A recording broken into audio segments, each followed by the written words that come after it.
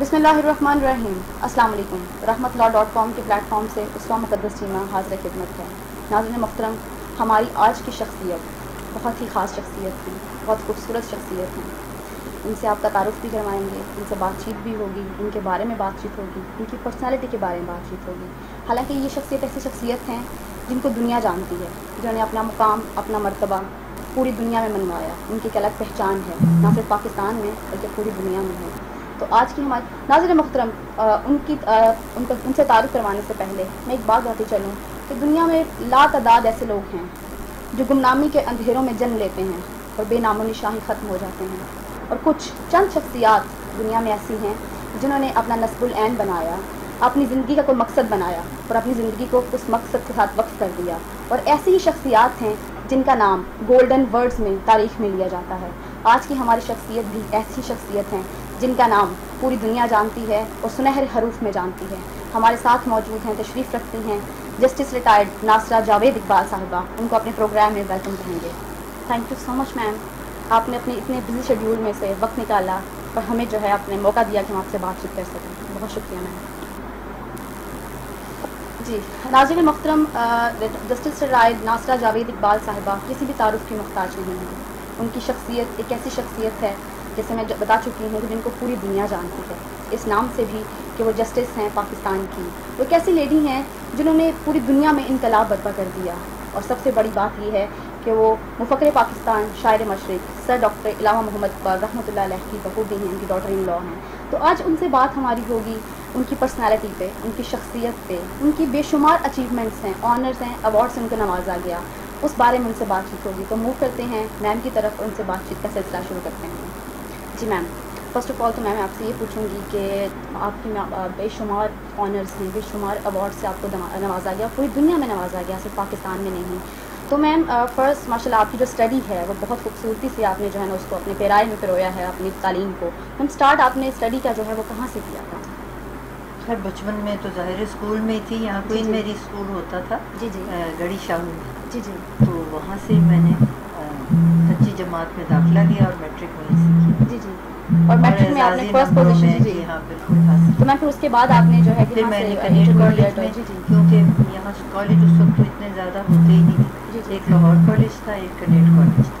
میں نے کنیٹ کالج میں داخلہ لیا اور وہیں سے بی اے آنرس کیا۔ بی آنرس کیا۔ اور میم لاء کی طرف جو آپ کا رجحان ہوا وہ کس طرح سے آپ نے؟ وہ تو خیر بہت عرصے بعد کی بات ہے۔ جی جی۔ جب میں نے یہ کیا پنجاب یونیورسٹی سے تو کیونکہ میں فرسٹ آئی تھی جی۔ مجھے انہوں نے دی تھی اسکالرشپ جو کسی شعبے میں بھی استعمال جی، ہو جی۔ سکتی ہے۔ یونیورسٹی اسکالرشپ تو میں نے فرق شعبے جا کے دیکھے تو اس وقت ایک نیا شعبہ کھلا تھا جرنلزم کا جس کو آپ کہتے ہیں میس کمیونیکیشن جی جی اس میں میں نے داخلہ لیا تھا۔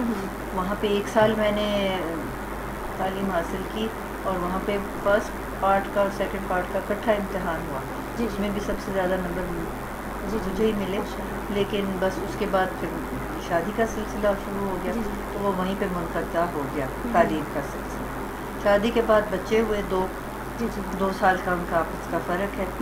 پھر ظاہر ہے گھر میں ان کی تربیت کیونکہ میری۔ جب شادی ہوئی تو۔ میرے شوہر کے گھر میں سب کوئی خاتون نہیں تھی ان کی والدہ ان کے بچپن میں ہی گزر گئی تھی۔ ان کی ایک ہمشیرہ ہیں وہ گلبرگ میں۔ تو بس میں گھر میں اکیلی تھی ظاہر ہے بچوں کو تو نہیں چھوڑا جا سکتا۔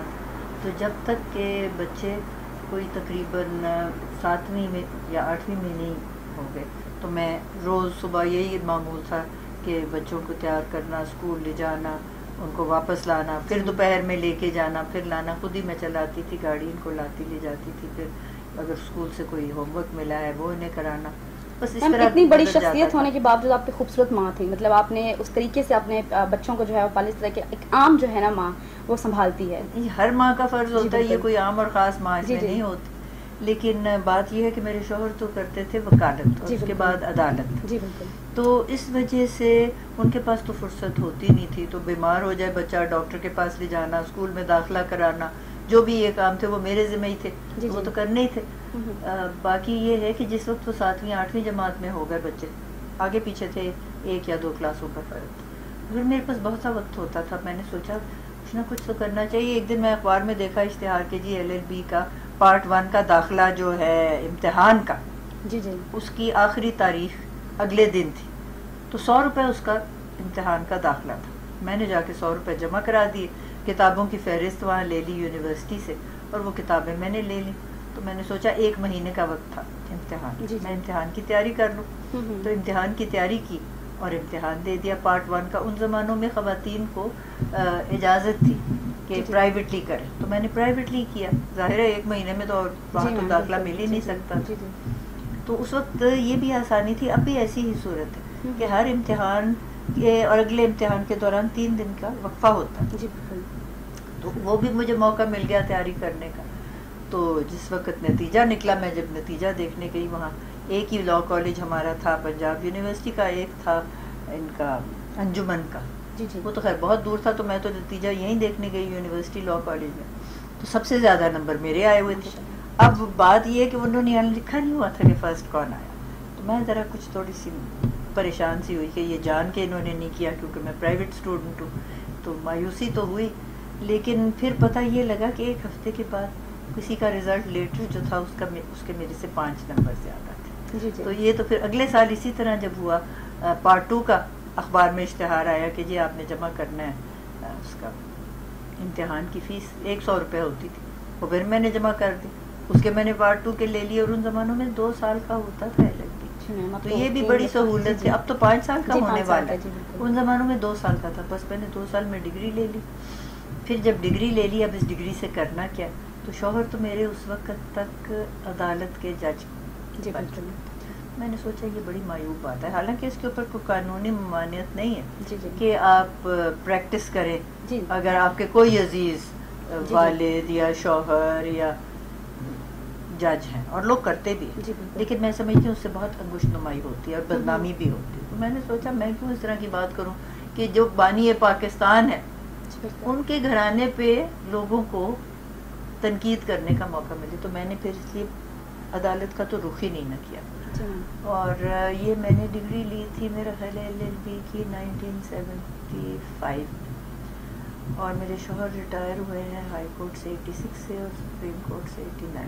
Ma'am eighty nine میں میں نے اپنی پریکٹس شروع کی۔ جی۔ اتنے سال یعنی کہ تقریباً پندرہ سال۔ جی میں نے پریکٹس نہیں کی۔ انٹرنیشنل ویمنس کلب میں خواتین کو مشورے چاہیے ہوتے تھے ان کو دے دیتی تھی۔ آل پاکستان ویمنز ایسوسی ایشن کی ان کی اعزازی میں۔ جی جی۔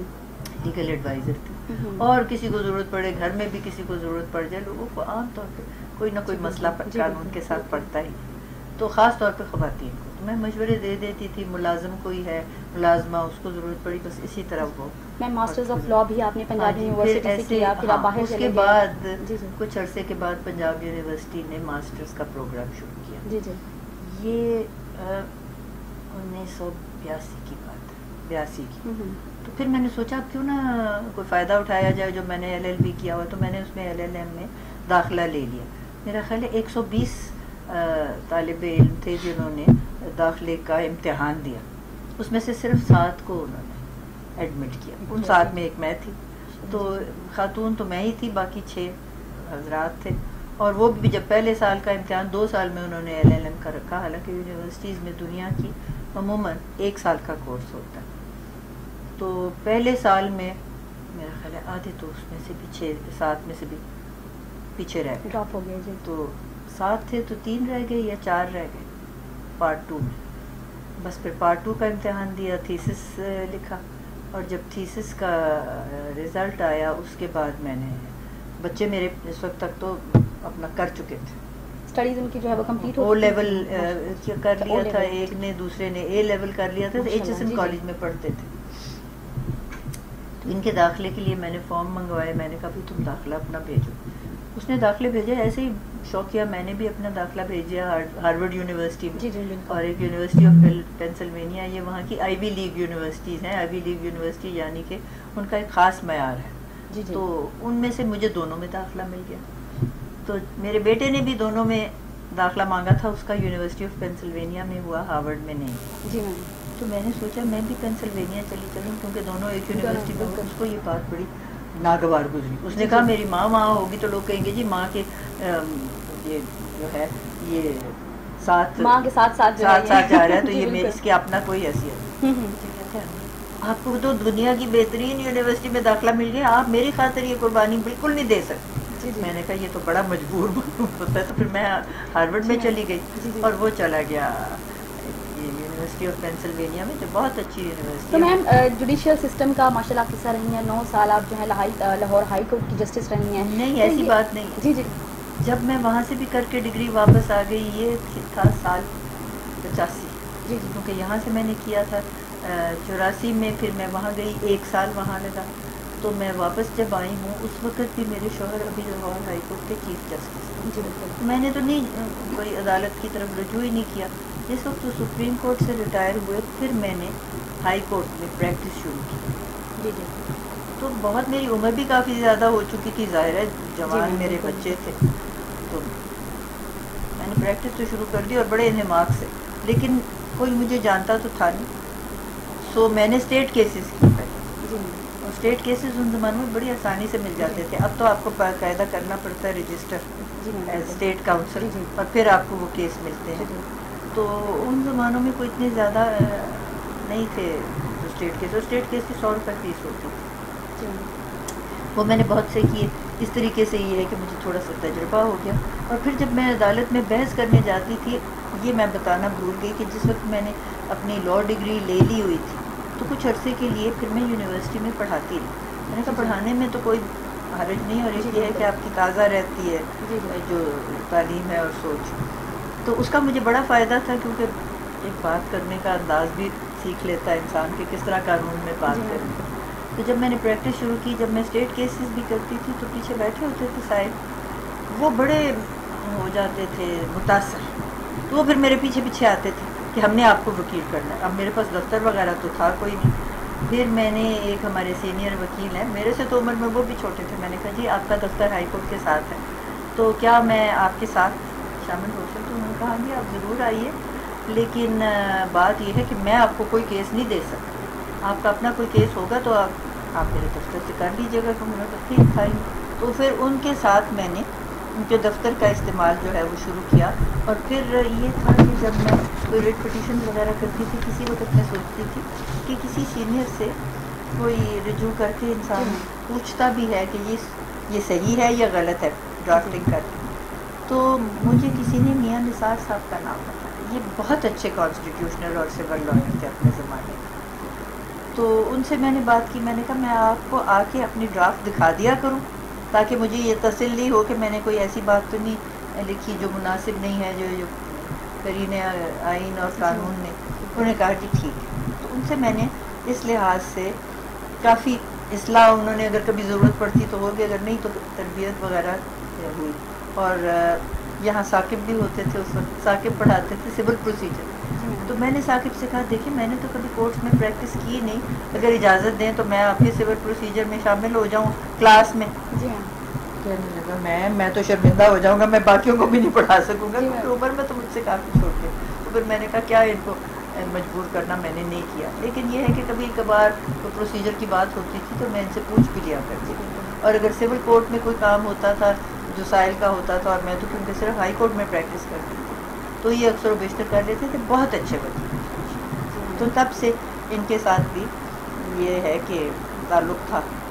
تو میم آپ ماشاء اللہ مفکر پاکستان کی ڈاٹر لا بھی ہیں۔ اس طرح سے بھی آپ کی پرسنالٹی جو ہے وہ جس طرح سے آپ نے محنت کی اسٹرگل کی، اور آپ نے سوچا کہ نہیں بھائی، وہ ان کی پہچان اپنی جگہ ہے، میرے ہسبینڈ کی پہچان اپنی جگہ ہے، لیکن مجھے ایک اپنا مقام اور اپنا مرتبہ بنانا ہے۔ میم اس میں آپ کو کیسا فیل ہوا جب آپ جسٹس جو ہے لاہور ہائی کورٹ بھی رہیں، اور آپ نے ماشاء اللہ اتنا آپ نے کام کیا، آپ کو ایوارڈس بھی بہت سے ان سے بھی نوازا گیا، آپ کو اچیومنٹ ایوارڈ بھی بہت زیادہ ملا۔ میم کیسا فیلنگ تھا؟ مطلب وہ کیا احساسات تھے آپ کے؟ ظاہر ہے انسان کو کوشش کرے اور محنت کرے اور اس کا پھل بھی ملے جیسے میں نے آپ کو بتایا کہ وہاں ساحل بیٹھے ہوتے تھے تو وہ خود سے ہی آ جاتے جی، تھے۔ میں نے کبھی کسی ساحل کو بلانے کی کوشش نہیں کی۔ تو بہت میری پریکٹس جو تھی وہ چلی۔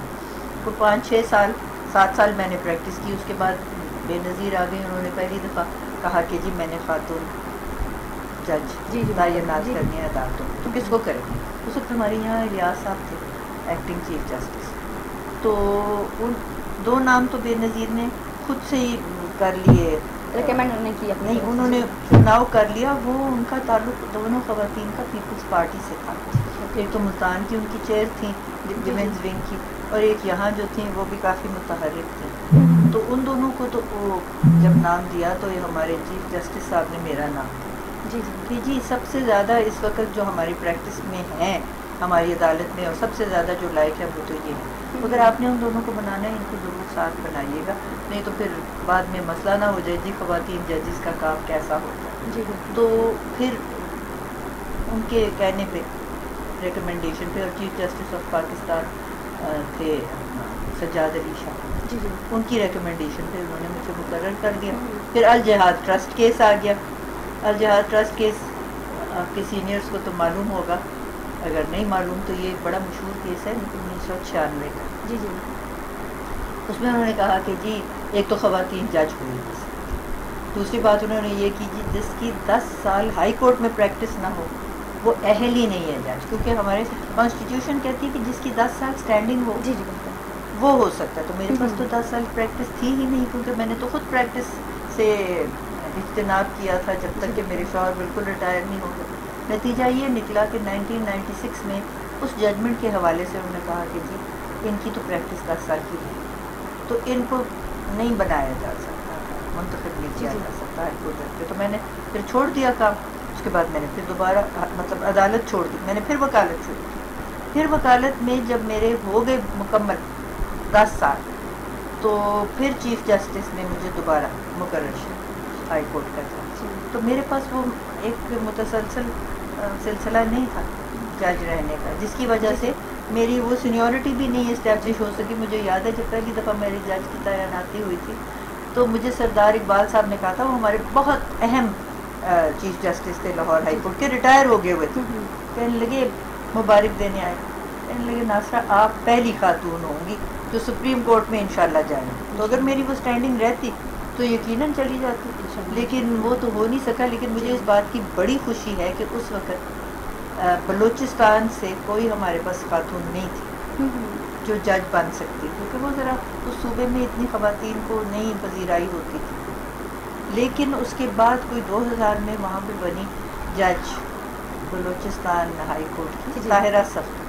اور آج میں سمجھتی ہوں پاکستانی خواتین کے لیے یہ بہت ایک خاص نمایاں بات ہے۔ کہ وہ چیف جسٹس بنی ہے بلوچستان ہائی کورٹ کی پہلی دفعہ ایک خاتون پاکستان چیف جسٹس بنی ایک ہائی کورٹ کی۔ اور وہ بھی اس کورٹ کی جس کو ہم سمجھتے ہیں یہ ہمارا سب سے پسماندہ صوبہ ہے۔ اور اب انشاءاللہ اگلے سال وہ سپریم کورٹ میں ہماری پہلی خاتون جج ہوں گی۔ کیونکہ ان کی کوالیفیکیشنز بھی ہیں اور ان کا تجربہ بھی ہے۔ وہ تو سول جج سے شروع انہوں نے کیا تھا۔ تو ان کا کافی ہے۔ اس میم، جس طرح کے ڈاکٹر جاوید اقبال صاحب جو ہیں، وہ فخر پاکستان کے بیٹے ہیں۔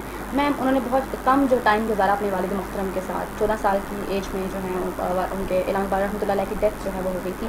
تو میم کبھی کبھی آپ سے شیئرنگ ہوتی تھی جتنا بھی ٹائم انہوں نے اپنے والد کے ساتھ گزارا، کیونکہ ان کی پرسنالٹی کو ہم صرف کتابوں میں پڑھتے ہیں۔ لیکن آج موقع ملا ہے کہ ان کی اب جو بہت ان کے کلوز ہیں لوگ آپ نے بھی ان سے شاید آپ کو بھی نہیں موقع ملا ان کے ساتھ بیٹھنے کا ان سے باتیں کرنے کا۔ علامہ اقبال تو فوت ہو جی علامہ اقبال تو پیدائش جی بالکل۔ میں تو پیدا ہی نہیں ہوئی تھی وہ میری عمر کافی ہو گئی ہے۔ جی لیکن وہ تو انیس سو اٹھتیس میں جی بالکل اٹھتیس میں فوت ہو گئے تھے لیکن جاوید اقبال صاحب نے جو چودہ سال اپنے والد کے ساتھ گزارے کیا ان کے واقعات جو ہیں وہ آپ سے شیئر کرتے تھے؟ کیسا؟ گھریلو معاملات میں ذکر ہوتا تھا جی جی۔ لیکن ڈاکٹر جاوید اقبال میں نو سال کی تحقیق کے بعد زندہ رود اپنے والد کی لکھی تھی سوانح یاد جی جی۔ اور وہ تین جلدوں میں لکھی۔ جی کیونکہ اتنی لمبی چوڑی تحقیق انہوں نے کی اور یہ ذاتی طور پہ کی کسی کو ساتھ اسسٹنٹ ریسرچ اسسٹنٹ جیسے ہوتا ہے نہیں لگایا۔ اور اس وقت ہائی کورٹ کے جج تھے۔ تو چھٹیوں میں زیادہ یہ کام کرتے تھے یا عدالت سے جب آ جاتے تھے تو شام کو دو تین گھنٹے لگاتے تو پہلی جلد جو تھی علامہ اقبال کا ابتدائی دور۔ وہ انہوں نے شائع کی پھر تین سال کے بعد علامہ اقبال کا وسطی دور اور پھر اس کے تین سال کے بعد علامہ اقبال کا اختتامی دور جی جی۔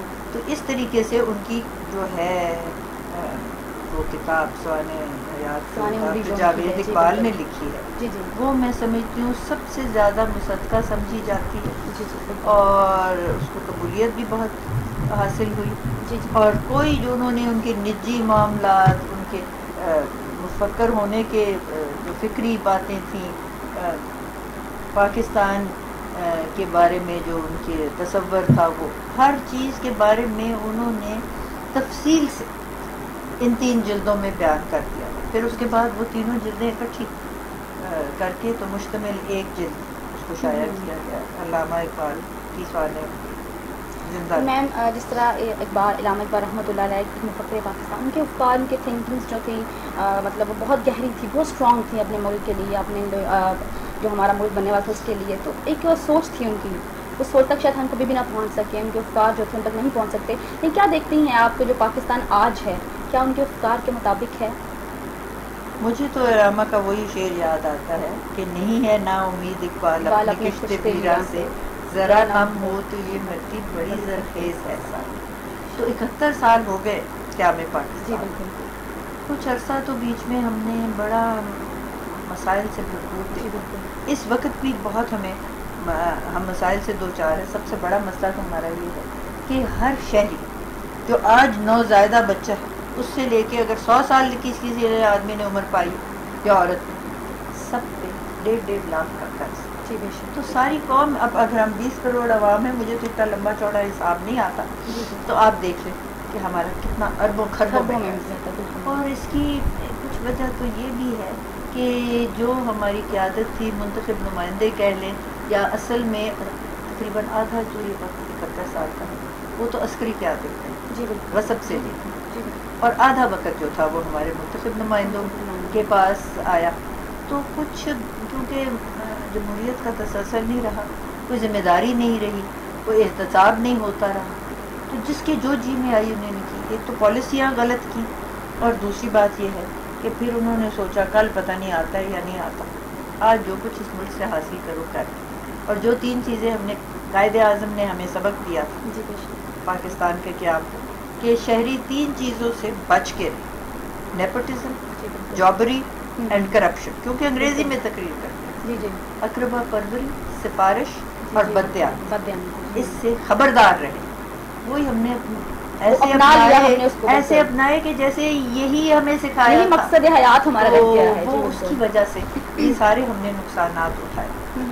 اب جو منتخب ہوئی ہے جماعت دو ہزار اٹھارہ میں جی۔ ان کو ہم نے پہلے کبھی نہیں موقع دیا۔ جی، جی۔ تو اب یہ نیا تجربہ ہے۔ اللہ کرے میری تو امید ہے کہ شاید تبدیلی آ ہی جائے کوشش تو نظر آتی ہے انہوں نے یہ بھی کہا ہے کہ جی پہلے سو سال سو دن میں دیکھیں کہ ہم کس قسم کا اقدامات کرتے ہیں۔ لیکن مسئلہ سارا یہ ہے کہ یہ جو پرانی عادتیں ہوتی ہیں نا یہ جاتی نہیں اتنی آسانی سے۔ انگریزی کا مقولہ ہے اولڈ ہیبٹس ڈائی ہارڈ اب وہ اولڈ ہیبٹس ڈائی ہارڈ جو ہے اس میں آپ دیکھیں لوگ تو وہی ہیں۔ کیا کہتے ہیں علامہ اقبال بدل کر بھیس نظر آتے ہیں ہر زمانے میں۔ اگرچہ پیر ہے آدم جوان ہے لاتو منات۔ تو وہی چہرے۔ کبھی اس میں آ جاتے ہیں اور یہ جو چہرے ہیں نا جن کو ہم نے اس مرتبہ الیکٹیبلز کہہ کے بھی پیش کیا جی، شہریوں کو کہ جی آپ ان کو ووٹ دے جی۔ تو وہ تو وہی لوگ ہیں۔ جس وقت عسکری قیادت ہوتی ہے ان کے ساتھ بھی وہی ہوتے ہیں۔ جس وقت دو ٹو پارٹی سسٹم ہمارے تھا تو جب پہلی پارٹی بے نظیر بھٹو والی جو تھی شہادت کے بعد ان کو اقتدار ملا اس میں بھی وہی لوگ تھے۔ اس کے بعد جس وقت ان کی باری آئی دوسری پارٹی کی ان میں بھی وہی لوگ تھے۔ جب وہ دونوں پارٹیاں جو تھی ان کا اقتدار کا دور ختم ہوا اب یہ تیسری پارٹی ہے بہت سارے تو چہرے وہی ہیں۔ اب جب چہرے وہی ہیں تو کہاں تک یہ اپنا ہمیں ڈلیور کر سکیں گے؟ یہ تو اب وقت ہی بتائے گا اور سو دن میں پتہ بھی لگ جائے گا۔ اور مگر ایک بات یہ ہے کہ اب ایک تو سوشل میڈیا بڑا متحرک ہے۔ جی، جی۔ اور دوسرا یہ ٹی وی چینل جو ہیں میرا خیال ہے پچاس ساٹھ تو ہمارے پاس ٹی وی چینل ہیں۔ ہر وقت نگاہ اور یہ جو سی سی ٹی وی آ گیا ہے جی، اس کی وجہ سے سڑکوں پہ دفتروں میں ہر جگہ ہر وقت میں نے تو یہاں لگایا ہی نہیں ہو تو میں نے کیا کرنا ہے؟ لیکن ہر جگہ ہوتا۔ پتہ لگ جاتا ہے کہ لوگ کیا کر رہے ہیں۔ اس نے جی چپیڑ لگائی اس نے بات ذرا سختی سے کی اس نے اس سے پیسے پکڑ لیے کسی نے یہ کیا کسی نے وہ کیا۔ تو یہ سب باتیں منظر عام پہ آ جاتی ہیں۔ اس لیے میں سمجھتی ہوں کہ بہت احتیاط سے جی یہ جو نمائندہ حکومت ہے انہوں نے ہر قدم بہت احتیاط سے اٹھایا۔ لیکن میم اللہ کرے جی گا بالکل، شاید ان انشاءاللہ، اللہ تعالیٰ۔ اور یہ دیکھیں نا قوم کو ضرورت ہے تبدیلی کی۔ جی اور یہ ہمارا فرض ہے۔ دیکھیے چند منتخب نمائندے بدل نہیں سکتے زمانے کو۔ تو اگر ہم نے تبدیلی لانی ہے تو ہر فرد نے اپنا حصہ میں ڈالنا۔ کہہ دیتی ہوں بس جی میں نے تو منتخب کر لیا اب دیکھو یہ کیا جی جی۔ اگر میں نہیں ساتھ تعاون کروں گی تو کیا ہوگا؟ جی نہیں ہوگا۔ تو میم یہی ضرورت ہے نا کہ اگر ہم یہ سوچتے ہیں کہ جی ہماری گورنمنٹ یہ کر دے گی ہمارے جو لیڈر منتخب کیے ہیں وہ کر لیں گے لیکن شاید ہم یہ سوچتے نہیں کہ ہم اپنا گربان نہیں جانتے کہ ہم کہاں غلط ہیں۔ اگر ہم خود کو بہتر بنا لیں تو شاید ہم بہتری کی طرف جو ہے یہی تو آپ سے عرض۔ کیا بالکل اور اس کے بارے میں علامہ نے فرمایا ہے صورت شمشیر ہے دست قضا میں وہ قوم کرتی ہے جو ہر زمان اپنے عمل کا حساب۔ ایک تو دیکھیں نا ان پہ تو تنقید ٹیلی ویژن والے بھی اور یہ جو ہے سوشل میڈیا والے بھی کرتے ہیں اخبارات بھی کرتے ہیں اپنے عمل سے مطلب ہم نے اپنے نے گریبان میں جھانک کے دیکھا ہے جی۔ کہ ہم کیا کر رہے ہیں آخر دیکھیں نا اگر کوئی رشوت لیتا ہے تو کوئی دینے والا ہے نا تو دینے والا بھی اتنا ہی مجرم ہے جتنا لینے والا ہے۔ اسی طریقے سے جو بھی کام بگڑ رہے ہیں آج مثلا دو روپے بجلی کی قیمت وہ بڑھ گئی۔ جی اور اس طرح وہ جو تھی گیس جو ہر صارف استعمال کرتا ہے اپنے گھر میں۔ اس پہ تو اوگرا جو گیس کی ریگولیٹری اتھارٹی انہوں نے کہا کہ جی اس کو تو ڈبل کر دینے کی ضرورت ہے کیونکہ ہمیں ہر مہینے اتنا اس پہ لاس سوال یہ ہے کہ عام شہریوں کے لیے بجلی اور گیس بہت بہت ضروری ہے جی۔ تو اب انکم ٹیکس کتنے لوگ دیتے ہیں؟ ہماری دس فیصد آبادی جو ہے نا وہ ایسی ہے جن کے پاس بے شمار پیسے ہیں۔ جی لیکن وہ ٹیکس نہیں ٹیکس نہیں دیتے۔ وہ کچھ تو یہاں ہے ہی نہیں رقوم باہر کے ممالک میں رکھی ہوئی ہے۔ اب یہ کہہ رہے ہیں ہمارے منتخب نمائندے کہ ہم جی واپس لائیں گے۔ کیسے واپس لائیں گے؟ وہ جو اقامے ہیں جس کے اوپر اتنی تنقید ہوئی کہ جی چھوٹے سے اقامے پہ یہ بات ہو یہ اقامہ پتہ نہیں وکلا کو بھی پتہ ہے کہ کیا ہوتا ہے۔ یہ ایسے ملک میں جا کے ان کی شہریت لینی کہ جی ہم یہیں کام کرتے ہیں یہیں کماتے ہیں اور یہیں پہ ہمارا سب کچھ ہے۔ یہ ہے اقامہ۔ اب وہاں یہ ہے کہ کسی نے کہہ دیا کہ میں حجام ہمارے بڑے بڑے لیڈر جی۔ کوئی کسی کا بن گیا ہوا ہے مشیر۔ حالانکہ دیکھیے یہ میں سمجھتی ہوں کہ ایک کانفلکٹ آف انٹرسٹ ہے۔ یہاں دفاع کا وزیر ہے اور وہاں کسی کا مشیر بنا جی بالکل۔ اور وہاں سے بھی کئی ہزار دینار تنخواہ لے رہا ہے یا بظاہر لے رہا ہے۔ انہوں نے بھی اقامہ لیا ہوا ہے۔ وزیر اعظم نے بھی اقامہ لیا ہوا ہے۔ ہر شخص نے اقامہ لیا ہوا ہے۔ اب اس کا اقامے کا نتیجہ یہ ہے کہ جو یہاں سے لے کے جاتے ہیں پیسہ اور بینکوں میں ڈالتے ہیں باہر۔ ہم نے دو ہزار پانچ میں ایک معاہدہ کیا ہے ملٹی لیٹرل انٹرنیشنل ٹریٹی کہ کوئی بھی اگر ملک سے جو قیادت ہے، وہ چوری کر کے پیسے کسی دوسرے ملک میں جمع کرے، جیسے سوئٹزرلینڈ میں لوگ کرتے ہیں، نیو یارک میں کرتے ہیں، فلوریڈا میں کرتے ہیں، کہاں کہاں کرتے ہیں، انگلینڈ میں کرتے ہیں۔ تو ان ممالک کے لیے یہ لازم ہے کہ اب پاکستان کی حکومت وہ مانگے پیسے تو ان کو اس کا حساب بھی دینا ہے اور واپس بھی کرنا ہے۔ لیکن جب یہ وہاں جمع کراتے ہیں تو یہ پاکستانیوں کی حیثیت سے تو کراتے ہی نہیں یہ تو اقامے کی حیثیت سے کرتے ہیں۔ وہاں انہوں نے جی، پیسے۔ جمع کرائے ہوئے ہیں دبئی کے ہم ہیں رہائشی جی جی۔ اب رہائشیت کے حوالے سے ڈومیسائل جس کو کہتے ہیں اقامہ بنے کوئی تو بنی ہوئی ہے نرس تو کوئی بنی ہوئی ہے صفائی والی۔ یہ بڑی بڑی خواتین اور بڑے بڑے جو ہمارے ہیں وزیر جی بالکل۔ وہ بنے ہوئے ہیں یہ جیسے میں نے کہا تو بنا ہوا ہے کوئی چپڑاسی۔ بنا ہوا ہے ایک تو ذلت۔ ذلت ہے ہم اٹھاتے ہیں، یہ اپنے گریبان میں نہیں جانتے۔ آخر دیکھیں جان تو اللہ کو ہی۔ دینی ہے نا؟ جی اور سکندر اعظم کی مشہور یہ بات ہے کہ یہاں پہ ان کو ٹائیفائڈ ہو گیا یا ملیریا ہوا جی۔ جو بھی ہوا۔ انتقال کر گئے۔ تو کافن میں پھر واپس ان کو لے کے گئے میسیڈونیا اور سکندر اعظم نے یہ وصیت کی کہ اب میں مر رہا ہوں تو آپ جو میرا کافن ہے دونوں طرف سوراخ بنا کے میرے ہاتھ ایسے باہر نکال دیں۔ جی تو پوچھا لوگوں نے کہ آپ یہ کس لیے کہتے ہیں؟ کہ دنیا کو پتہ لگے۔ میں فاتح عالم تھا۔ ان زمانوں میں دنیا یہی تھی۔ جی تین سو ستائیس جی بی سی میں۔ کہ میں خالی ہاتھ آیا تھا۔ خالی ہاتھ خالی۔ ہاتھ جا رہا۔ تو یہ پتہ نہیں یہ سوچتے ہیں ہم دبئی کے وہ بنا لیں گے اس کو کیا پیرامڈس تو احرام دبئی۔ کسی کو فائدہ نہیں دیتا لیکن جو بلڈنگیں وہاں ہیں وہ احرام ہی تو ہیں۔ میرے ذاتی مشاہدے میں میں نے اس پاکستان کو بنتے دیکھا بے شک تحریک پاکستان میں میرے والدین نے بھی حصہ لیا۔ میں بھی چھوٹی سی تھی تو میں جھنڈا لے کے پھرتی تھی لے کے رہیں گے پاکستان۔ جن جن لوگوں کو میں نے دیکھا ہے کہ ٹانگے میں بیٹھ کے سفر کرتے تھے ان کے بچے جو ہے اب ان کے پاس پوری پوری کالونیز ہیں باہر کے ممالک میں بلڈنگز ہیں اسی طرح جو خاتون پڑھاتی تھی اور پڑھانا میں سمجھتی ہوں ایک بہت بڑا کام ہے۔ لیکن آپ کو پتہ ہے یہاں اساتذہ کی کیا تنخواہ ہوتی ہے؟ ان کے والد ادنا سے ان کے شوہر ادنا سی ملازمت پہ تھے۔ وہاں ان کے پاس کیا کتنے بلڈنگیں ہیں؟ اب وہ کہاں سے ہیں؟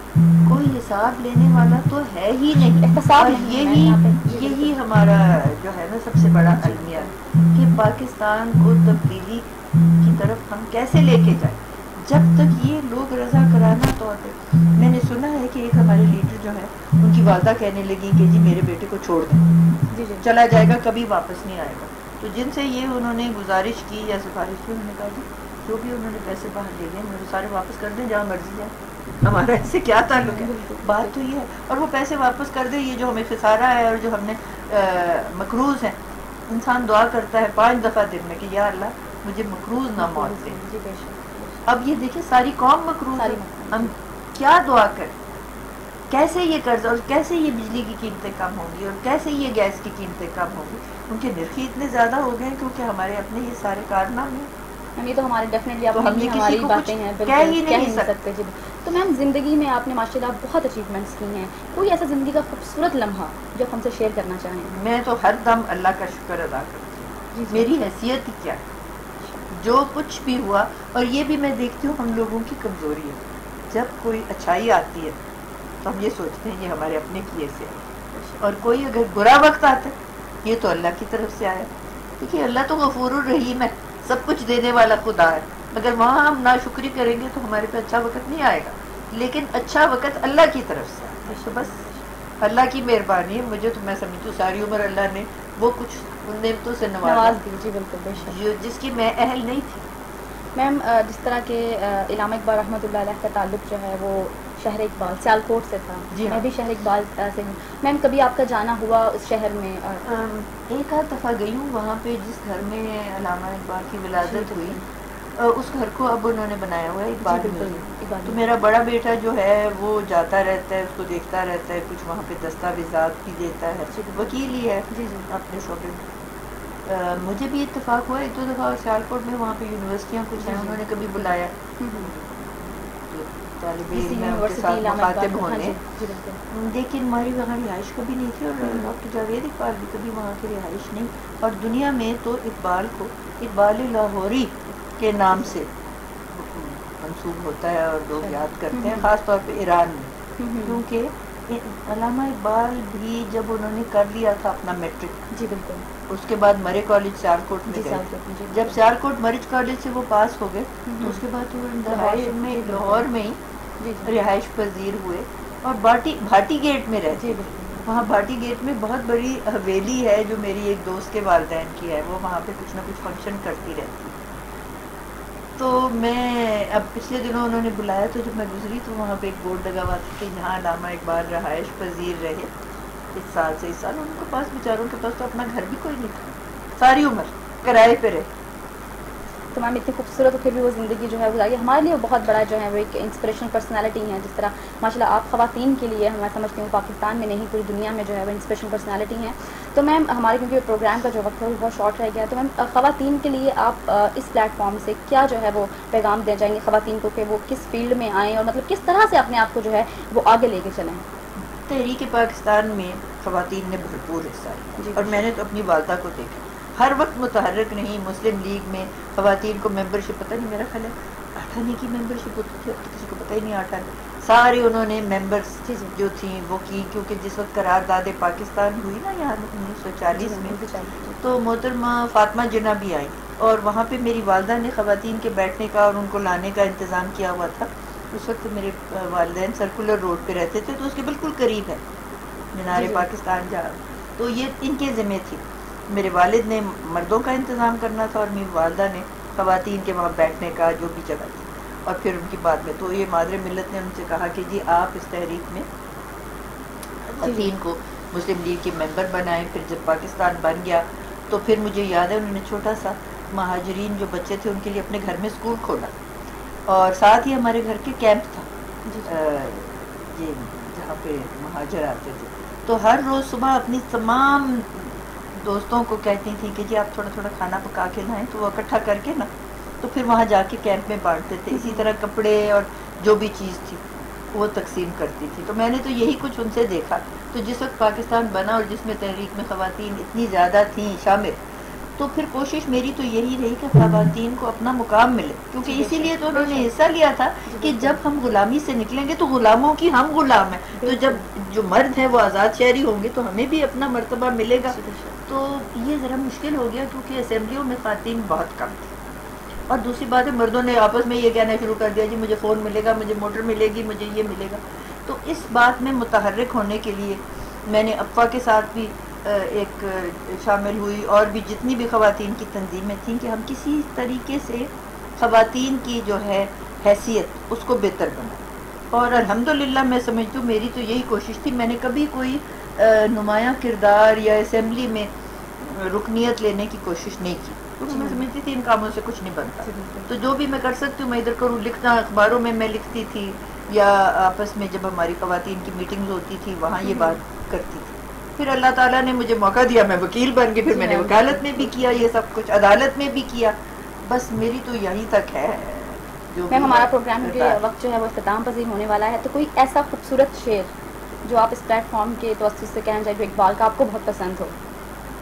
اقبال نے تو ہزاروں ایسے شعر جی، دیے ہوئے ہیں جو ہم سب کے لیے ایک راہ ہے تو میں آپ کو ایک شعر کیسے ہی بتاؤں؟ ایک تو میں نے ذکر ہی کیا تھا کہ انہوں نے کہا کہ افراد کے ہاتھوں میں ہے اقوام کی تقدیر۔ ہر فرد ہے ملت کے مقدر کا ستارہ۔ میں یہاں خواتین کی جب کبھی کالجز وغیرہ میں جاتی ہوں مجھے میں یہ فرد کا لفظ جو ہے نا اس میں آپ اور میں شامل ہیں۔ کہہ سکتے تھے مرد ملت کے مقدر کا ستارہ۔ تو اس میں کوئی زیادہ بہتر شاعری کے انداز میں وہ بہتر بنتا لیکن ہم سب کو انہوں نے اس لیے شامل کیا ہوا ہے۔ اور دوسرا پھر وہ یہ فرماتے ہیں کہ عمل سے زندگی بنتی ہے۔ جنت بھی جہنم بھی یہ بھی ہمارے لیے۔ اور پھر وہ کہتے ہیں طلبا طالبات کو یہ آبجو کی روانی یہ ہم کناری یہ خاک۔ میری نگاہ میں محبوب ہے یہ نظارہ۔ ادھر نہ دیکھے جوانی عزیز ادھر دیکھ۔ کہ امڑتا ہے سوزے درو سے فوارہ۔ تو یہ تو ہم نے خود ہی کچھ کرنا ہے۔ بہت شکریہ میڈم بہت بہت شکریہ آپ کا کہ آپ نے ہمیں ٹائم دیا۔ اور آپ نے اتنی خوبصورتی کے ساتھ جو ہے وہ اقبال کی پرسنالٹی کو بھی ہمارے سامنے جو ہے وہ لیبوریٹ کیا اور اپنی اچیومنٹس کو بھی ہمارے سامنے اور ڈیفینیٹلی آپ جیسی شخصیت جو ہیں وہ تمام خواتین کے لیے میں سمجھتی ہوں پاکستان کے لیے نہیں پوری دنیا کی خواتین کے لیے ایک مشل راہ ہیں ایک انسپریشنل پرسنالٹی ہیں۔ Ma'am thank you very much کہ آپ نے ہمیں ٹائم دیا بہت بہت شکریہ آپ نے ان کی گفتگو ملاحظہ فرمائی آپ نے ان کی گفتگو کو جو ہے وہ بہت خوبصورتی کے ساتھ جو ہے وہ دیکھا ہوگا، سنا ہوگا، آپ نے انجوائے بھی کیا ہوگا کس طرح سے انہوں نے اپنی زندگی جو ہے وہ اپنی اچیومنٹس کے ساتھ آنرز اور ایوارڈس کے ساتھ جو ہے وہ گزاری ہے، اور ماشاء اللہ ان کو ویمن آف دا ایئر کا ایوارڈ بھی ملا ان کو فاطمہ جنا ایوارڈ سے نوازا گیا، اور بے شمار ایسے ایوارڈ ہیں۔ جو ان کے نام سے منسلک ہیں۔ اس کے علاوہ ہمارے لیے سب سے بڑی بات یہ ہے کہ یہ فخر پاکستان شاعر مشرق علامہ محمد اقبال رحمۃ اللہ علیہ کی ڈاٹر ان لا بھی ہیں۔ ہمارے لیے ان کا مقام، ان کا مرتبہ جو ہے، ان کی الگ پہچان، ان کی الگ شخصیت ہے۔ ڈیفینیٹلی آج کا جو پروگرام ہے وہ آپ کو بہت پسند آیا ہوگا اپنی فیڈ بیک سے آگاہ کرنے کے لیے۔ ہمارے سوشل میڈیا کے چینل جو ہے یوٹیوب رحمت لا ڈاٹ کام اس پہ جائیے گا اور اس کو جو ہے سبسکرائب کیجیے گا اور ہمارے جو فیس بک پیج ہے، اس کو لائک اور شیئر کیجیے گا۔ اور ہمارے تمام پروگرامز جو ہیں، وہ میڈیا پہ دیکھنے کے لیے ہماری ویب سائٹ کا جو میڈیا پیج ہے، اس کو ضرور جو ہے وہ کلک کیجیے گا۔ تو آج کا جو پروگرام ہے ڈیفینیٹلی آپ کو پسند آیا ہوگا اور آپ کی شخصیت ہمارے لیے جو بہت بڑی شخصیت ہیں، آپ نے ان سے محظوظ ہوئے ہوں گے۔ مجھے اجازت دیجیے ان شاء اللہ نیکسٹ کسی اور پرسنالٹی کے ساتھ پھر دوبارہ سے حاضر ہوں گی۔ تب تک کے لیے اللہ حافظ۔